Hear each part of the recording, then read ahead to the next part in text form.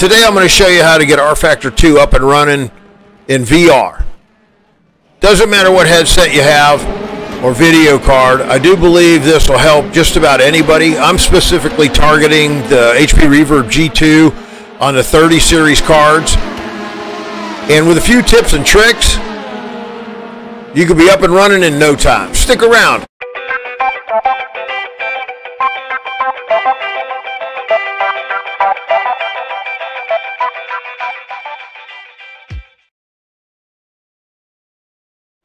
Okay, this is how I go about getting a good experience in VR. I'll put a link in the description down below for this rFactor 2 settings widget. All right, it uh, it's fantastic. Download latest release. Downloaded the portable zip file. Already did that, already unzipped it and this is what you're going to get. You come on down here and you click on that right there. Okay, once you fire it up, this is what you're going to get. This is my preset, so you won't see that. This is my preset. You won't see that. You're going to have high, ultra, VR high, VR low, medium, you know, medium sharp. Again, different headsets, can probably utilize a lot of these presets. Um, I think no matter what I got, I'd start with VR high, and then I'd start backing down from there. If it really starts tanking, go to VR low. If you got good frame rates, start bumping some things up. You know, just maybe go between these two, I mean, these three before you start messing with any of the individual settings, which are right here. Graphics settings. Okay, so VR high this is all default. This is all default. Let me just make sure I didn't change anything. Let's see. Texture sharpening was plus one. It was all blurry. And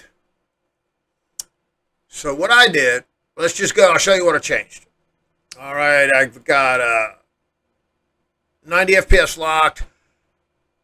I bumped this up to low from off it's a 0.5% CPU utilization. It gave me, I think, it, I think low just takes care of the glare. It gave me a little bit better picture, semi noticeable. Maybe it's just in my head, but um, I noticed no performance difference, so I left it. Okay, if I would have saw some degradation in the video, uh, frame rate, etc., I'd have gone back to off. It's not, you know, it's not important. That could be to your liking, but I noticed no performance difference with a 0.5% CPU uh, u- utilization for that. Um, this is default. I tried eight, little bit over the top, got some jitters and frame tanking. Put it back to four, and I'll show you why you can really get away with four and not have that bad of aliasing. Um, this is all default on VR High, so I left that alone came down here, left this alone, except your MIP LOD bias. I just turned it off. Okay, it's almost like, um, you know, it it'll get a sharper image if you go in the negatives, and it blurs the image if you go in the positives. The last thing I wanted to do was blur anything more out unnecessarily, but I couldn't handle the negative one. Started to see some frame tank. Um, so really, that was the only thing I changed there. This is the big bonus. This is why you can run 4x MSAA because you now have the sharpening mode. Okay, fast is by default, probably for good reason because that's what I went back to. I tried them both, AMD CAS. Now I think you can use uh, any video cards, not like proprietary or anything. Just try them out, no big deal. If you disable them, you're going to be back to stock game. That's what drove me crazy. Is it just was you know, too blurry, uh, uh, uh, and having it the ability to sharpen that image and run a 4x MSAA is fantastic. So that got me where I needed to get. So I left that on default. Um, I really played around with color correction mode. God, wouldn't it be so neat to get rid of that bluish and you know the over brightness um, in rFactor 2, especially in VR. Couldn't do it. Um, you got LUT files in here with presets. Go ahead, try them out. Somebody can get on something that looks good. Let me know. I'd really, really be interested to tweak the colors. I got some good colors, but I had weird things going on, swirly sky and stuff like that. And honestly, the frames were, you know, kind of questionable. I don't know if that, you know, how bad that really affects frame rate, you know, coloring and stuff like that. But again, real happy with what I you know, the end result, just having that disabled. Okay. Contrast saturation went up, went down, went in the middle both ways. Fiddled around for quite a while on that one. Just couldn't get it where I wanted it. Ended up disabling it. Quite happy with it. This really, um, so so in essence, this is default on VR High. This is your circle radiuses. You, you know, you can fiddle around with that per headset. Matter of fact, I probably need to go in there and figure out exactly what's good for a G2. So you know, didn't mess with this, might need to. Um, didn't touch none of this. All right, and then that's it. You click on Start rFactor 2, and voila, you're rocking and rolling. Let's check it out. Okay, here we go.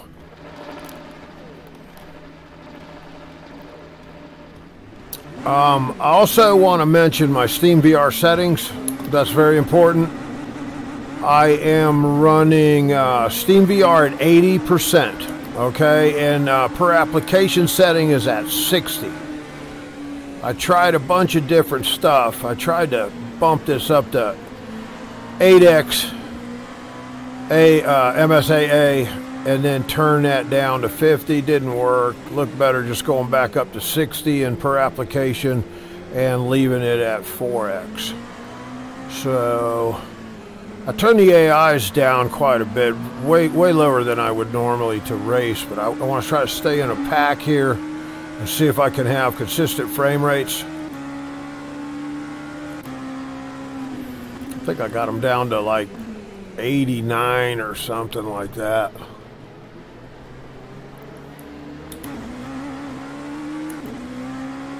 So far, so good. I've been enjoying this. Uh, you know, without recording, I don't have OBS running. I don't have this uh, this FPS, F, uh, you know, running, and not noticing much of uh, you know glitching and stuff like that. I know OBS puts a little bit of stress on this thing. So those were my Steam settings.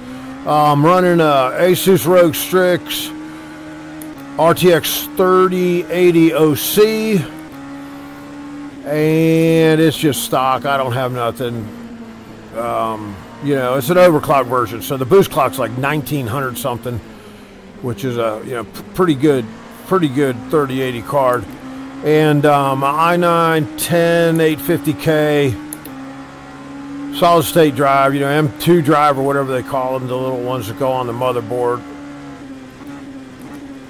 Just speaking off the top of my head.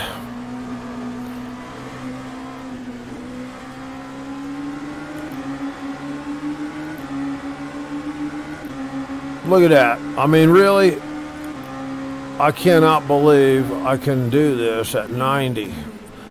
All right, that was a quick demo. I hope everybody gets something out of this video. Let me know how it works out for you. If you find any good color presets that work pretty well, let me know. I'd be interested to hear from you.